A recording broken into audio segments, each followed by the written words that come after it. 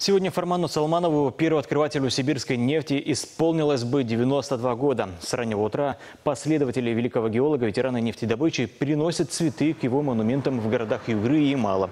А в Сургуте в историческом памятнике Доме Салманова сегодня по случаю проходил День открытых дверей. Каждый мог попасть на экскурсию в музей бесплатно.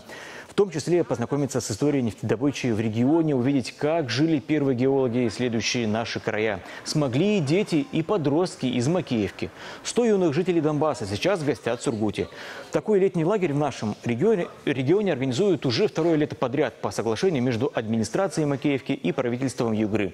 Чтобы знакомство с такой сложной темой, как геология, было веселым, сотрудники музея приготовили для гостей из Донбасса квест и мастер-класс по рисованию. Но не совсем обычному, а всего с использованием одного цвета – темно-коричневого. Во всем мире эта краска больше известна как сырая нефть сорта «Уралс». Именно такую чаще всего добывают на месторождениях нашего региона. Ее залежи в прошлом веке и искал Фарман Салманов.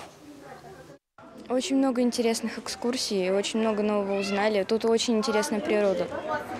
Вот это, наверное, поражает. Я нарисовал про космос, потому что мне однажды приснилось, что я с папой лечу в космос. Это все очень новое, потому что никогда не бывала тут, никогда не видела, в принципе, вообще нефть, не рисовала и не знала, что вообще такое возможно. Мы попали в лагерь, нам все очень нравится, мы этого не видим.